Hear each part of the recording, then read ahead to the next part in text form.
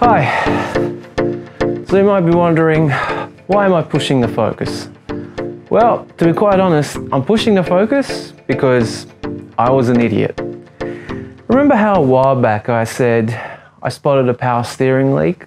On the right hand side here, I've got a power steering leak. Remember how I said I'm going to make a video about it? So I definitely have some more DIY videos to do on this car. Well, guess what?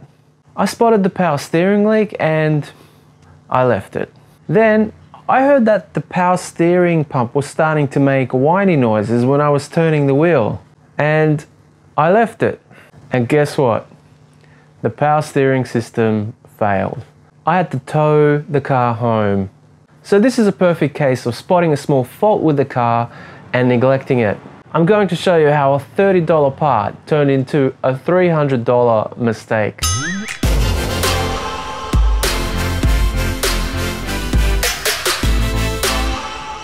So the part that failed on my car was the power steering pressure switch. It developed a hole throughout the whole switch and started gushing power steering fluid out the side of it all over the catalytic converter, the brand new silicon coolant hoses I've put in and just making a general mess of the engine bay. Uh, yeah, it's such a, uh, I'm still kicking myself because I spotted the problem and I'll be honest with you, I ignored it. I left it and I left it because I wanted to get to other things on the car, whereas I should have just fixed it while, as soon as I spotted it basically. So this little sensor is a $30 part. Now, if I would have just swapped that out, and I'm gonna show you in a minute how easy it is to swap this pressure sensor out. But if I would have just done that, I would have avoided having to tow the car home, cleaning up the mess that it's made and all the parts and fluids and everything I needed to buy to, to get the car back to working again. So without any further delay, here is how you change a power steering pressure switch. The tools you're going to need are some power steering fluid suitable for your car, the new pressure switch, a light, a 19mm socket, a ratchet, a pan to catch the fluid, some degreaser to clean up, and some rags or paper towel. Okay, so here is your power steering pump under these red coolant hoses and when you start your car, if you see oil pouring out of here, it's time to replace your power steering pressure switch.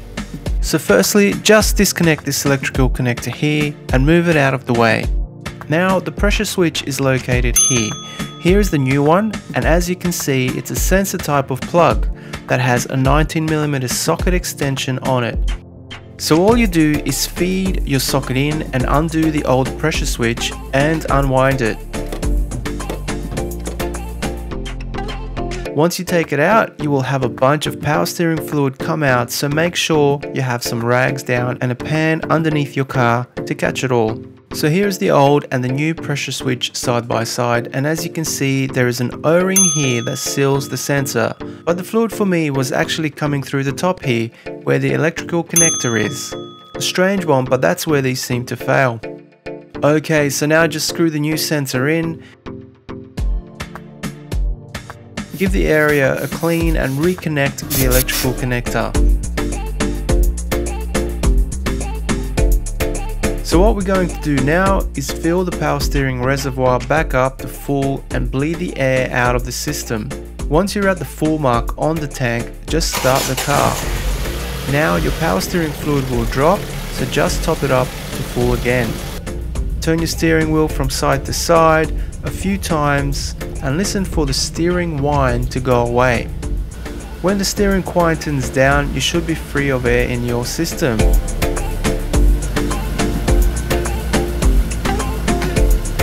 Also, check your fluid to make sure that you're still at the full mark. If not, you may have another leak somewhere, but mine is good. There are no more leaks at the pressure switch and the fluid is at the full mark. And yep, with that, you are done. See how easy that was? So there you go guys, that's how easy it is to replace a power steering pressure switch. I can't believe I left it to that long. Honestly, don't make the same mistake I did. get this thing fixed if uh, you've got a power steering leak and check there first. You know, a lot of people head straight to the power steering pump, but it may be just your pressure switch like it was for me. But I'm definitely going to keep an eye on everything now because you know, is the pump next? I don't know. Maybe that's a video for the future. Uh, we'll see if that fails as well, but I'll keep an eye on things now. It was such a stupid mistake. I just left it and left it. Um, and that's what happens, you know, I, I made a mistake, I neglected the car. I thought, no, I'll, I'll it'll be fine, I'll, it'll keep going. And sure enough, the part failed on me. So I hope you guys learned from my mistake. Don't leave signs like that alone. If it looks like the part is gonna fail, start doing something about it because like in my case, it will fail. So lesson learned the hard way. I hope that this video helps you and you won't have to go through the same thing that I did. And as you can see, it was a pretty easy thing to change. So go ahead and do this if you need to on your car as well. The video will always be here in case you need it. I just want to say thank you to everyone who's uh, subscribed and who's commented so far on my videos. I can't thank everybody enough for the support that they've shown.